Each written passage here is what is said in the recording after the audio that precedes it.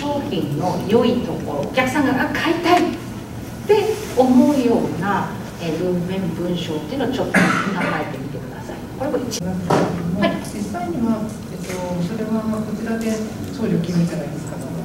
この、この重さだと、この大きさだと、この箱でって、だからこの値段。が発生しますよ。そういうところが書いてあるのでなるべくならば、えー、2万円以上たまったタイミングでやるといいそうですね。それはちょっとわからん、わからん、わからん。あの私、これ、これで来てるんだけど、なぜか。